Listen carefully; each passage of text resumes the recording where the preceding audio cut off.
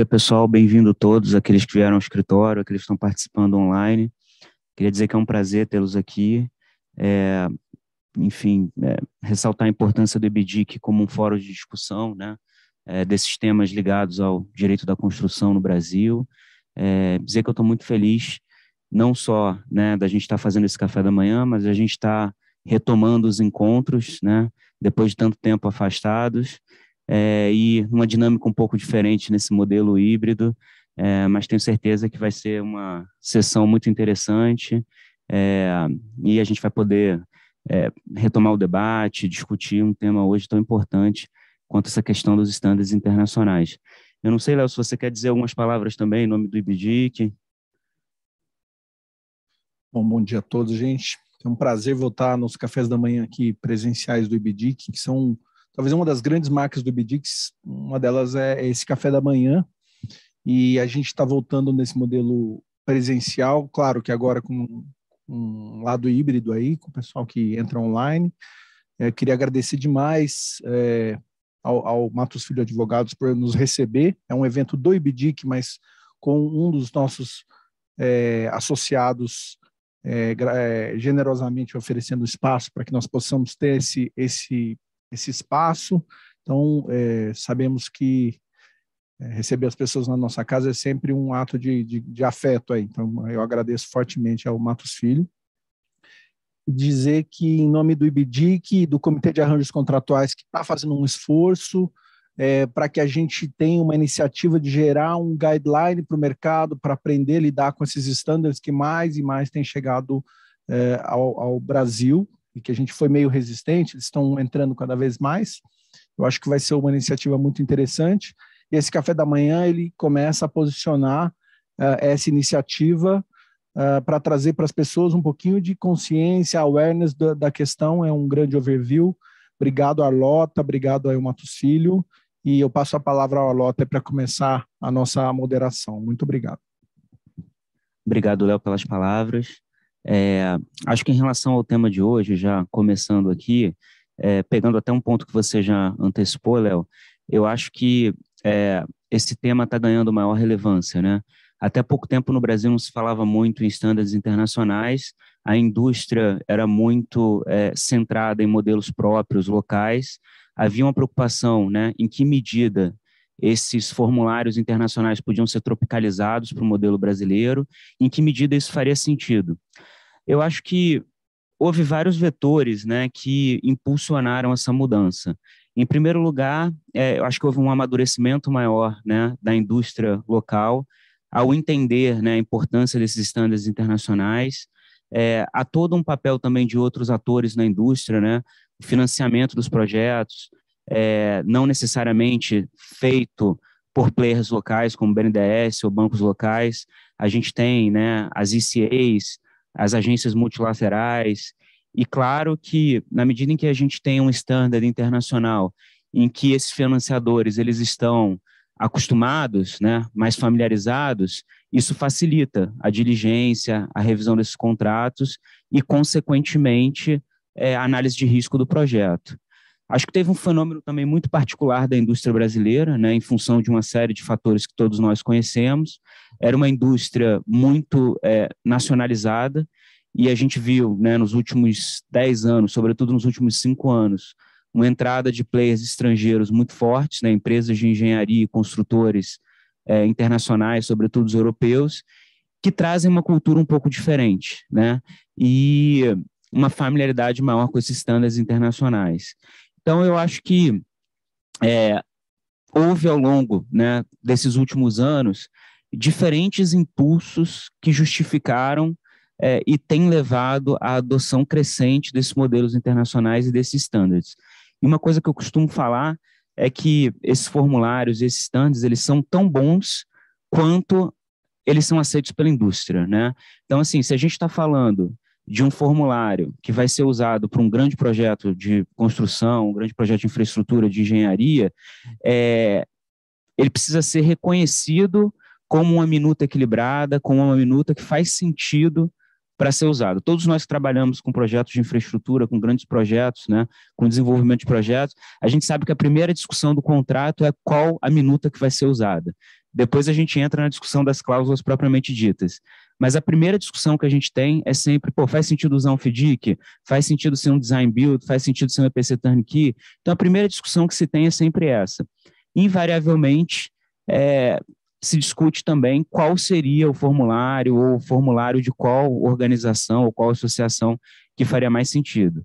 E claro que, se aquele formulário é entendido como um formulário adequado, como um formulário equilibrado, como um formulário que não puxa a sardinha para muito né, unilateralmente ou para é, é, caracteristicamente para um dos lados apenas, é, ele vai ser mais bem aceito e, consequentemente, vai ser mais usado. Então, eu acho que, assim, como contextualização geral, é dizer que esse tema é um tema que tem ganhado relevância, tem ganhado importância no debate do direito da construção no Brasil, é, e eu acho que essa discussão aqui no IBDIC, sobretudo no comitê de arranjos, é, né, do comitê de arranjos contratuais, ela é muito bem-vinda e necessária, e passar a palavra já para o primeiro dos nossos é, expositores de hoje, para que a gente já conheça um pouquinho melhor né, o uso de um desses formulários. Rodrigo Petrasso, além de grande advogado, um amigo. Vá lá, por favor. Bom, pessoal, bom dia a todos. É um prazer estar aqui conversando com vocês. É, eu vou falar rapidamente aqui, fazer um overview uh, do, do, Rainbow Suite, né, das minutas Silver, uh, Red e Yellow Book do, do FIDIC. O Dr. Luiz Otávio vai complementar, falando dos demais standards da FIDIC. É, a ideia aqui é a gente apresentar rapidamente é, a estrutura, a aplicabilidade, fazer um, realmente um apanhado geral da, da, da funcionalidade desses, desses standards, que são hoje é, talvez os principais, os mais conhecidos, pelo menos, aqui na nossa realidade. Eu vou projetar aqui a apresentação. Vamos lá. É, a ideia aqui realmente é a gente fazer um apanhado do, dos principais problemas, das principais é, cláusulas que essas minutas têm. É, iniciando aqui muito rapidamente, falando um pouco do histórico do que é a FDIC, de, qual é a, de quais são os standards e esse, é, quais são os embriões né, dos standards que nós temos hoje. A FDIC foi uma, é, é uma, uma, federação internacional de, de associações de engenheiros consultores, foi criada em 1913, Originalmente, é, três países é, constituíram a FDIC, foram a Bélgica, a França e a Suíça. É, depois de um, um, início conturbado, até por conta das guerras, a FDIC foi cada vez mais ganhando é, tração nesse, nessa atuação, nessa missão da FDIC de criar estándares contratuais, de gerar é, guidelines, de gerar treinamentos. E hoje, mais de 100 países já são associados à FDIC. E, e, no mundo inteiro se utiliza as minutas do, é, contratuais da FDIC, especialmente a gente tem é, muito, é, muita adesão às minutas no, no, Oriente Médio, na Ásia, na África, e cada vez mais a gente está trazendo para a América Latina, pra, é, na Europa é, oriental, na Europa Ocidental também está se utilizando bastante. É, a FDIC ela inicia nesse, nesse processo de geração das, dos estándares contratuais lá em 1957 quando ela edita a primeira minuta do que viria a ser o embrião do Red Book, né? Embora não, não haja uma continuidade com, com o Red Book de hoje, a primeira minuta que foi disponibilizada como minuta padrão foi em 1957, que é o livro vermelho, e logo na sequência, em 1963, o livro amarelo. Na ocasião, o que distinguia um, um, um standard do outro era o escopo. Né? A ideia era de que o Red Book seria um, uma, uma minuta mais adequada a escopos de construção civil, de civil works mesmo. Então, barragens, estradas, é, sistemas de esgoto. E o Yellow Book veio como uma minuta mais apropriada a projetos elétricos e mecânicos em geral. Então, fábricas, usinas termoelétricas. É, e, essas minutas foram atualizadas até 1987. Em 1995, a FDIC lança o Orange Book, que é, até o Dr. Luiz Otávio pode falar sobre mais sobre o assunto, é, na verdade veio atender a uma tendência é, mundial de concentração do, do, dos riscos, dos, das responsabilidades na contratada. Né? Então, a partir da década de 90, você tem uma adoção cada vez maior da, dos modelos de turnkey lump sum, e vem justamente atender a essa demanda que, vem, que surge o Orange Book. E aí, finalmente, em 99, a gente tem uh, o lançamento, a FDIC descontinua as minutas anteriores, na verdade, ela relança, ela faz um reboot das, dos seus standards e lança uh, uh, as minutas que a gente conhece hoje como Rainbow Suite. É, também foi lançado na época o livro verde, mas basicamente tratando aqui, a gente tem o, o livro, os, os livros que a gente tem mais é, é, é, tração hoje, que nós conhecemos mais, que são o livro amarelo, o livro prateado e o livro vermelho. É, a ideia em 99, esse movimento aconteceu em 99 da FDIC, para tentar fazer alguns ajustes nos, nas, nas minutas que existiam. É, primeiro, primeiro objetivo que foi realizado ali era reduzir um pouco a influência do direito anglo-saxão. As minutas anteriores elas eram muito vinculadas, muito relacion, é, ligadas à prática contratual inglesa, é, e a ideia era tentar deixar as minutas um pouco mais internacionalizadas, um pouco menos vinculadas às práticas inglesas. É, também veio aí um, um, objetivo muito, muito forte de tentar padronizar as minutas anteriores, o Red e Yellow, elas não tinham um padrão entre elas, não tinha uma coerência entre elas, existiam diferenças de, de definições, as cláusulas não tinham exatamente as mesmas estruturas. Então a FDIC veio em 99 tentando fazer com que as, independentemente de, de, da aplicabilidade diversa das minutas, elas terem tanto quanto possível uma estrutura muito parecida.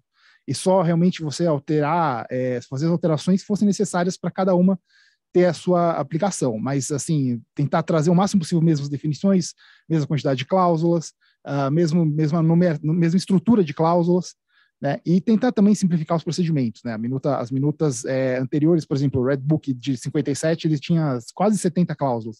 A ideia aqui era simplificar, trazer para 20, 21 e deixar mais, de, é, mais fácil mais palatável ao mercado.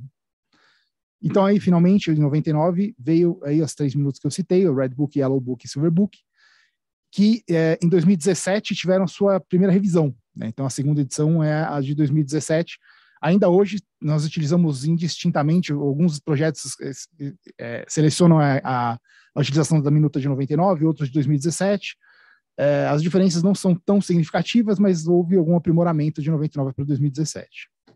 Esse, então, é um breve apanhado histórico do, do, das minutas padrão publicadas pelo FDIC.